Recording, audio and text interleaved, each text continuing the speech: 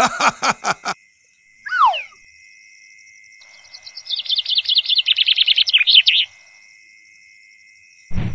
need a mini rotavator tractor. Okay, okay. Let's go.